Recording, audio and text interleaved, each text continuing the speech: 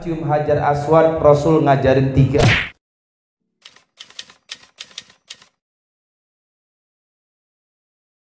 Berapa? Berapa? Cara nyium Hajar Aswad ada? Ada. Dan ini pahalanya sama. Yang pertama dengan cara menciumnya langsung. Masukin kepala ke dalam Hajar Aswad. Bismillahirrahmanirrahim. Cium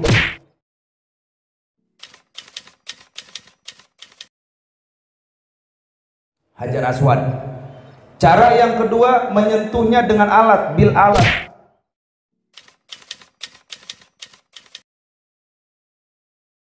Dulu di zaman Rasul dan zaman sahabat itu ketika tawaf pakai ontak. Orang yang tidak bisa jalan kaki dia pakai ontak.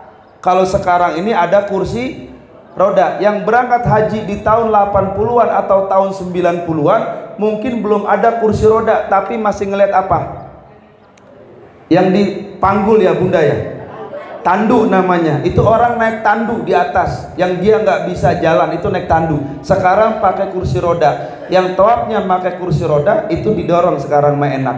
Nah ini boleh menyentuhnya dengan alat. Dulu pakai tongkat. Bismillahirrahmanirrahim. Itu namanya alat pakai tongkat. Ah mau bawa selang 50 meter kelilit nanti orang jadi ngelemparinnya juga susah. Lewatin hajar aswad Rasul tahu makin kemari yang mencium hajar aswad pasti makin banyak. Betul nggak? Akhirnya Rasul ngasih tiga cara. Tadi baru berapa? Dua. Pahalanya sama. Menciumnya langsung atau dengan alat. Nah yang ketiga yang sering kita gunakan bil isyarah. Bismillahi Allahu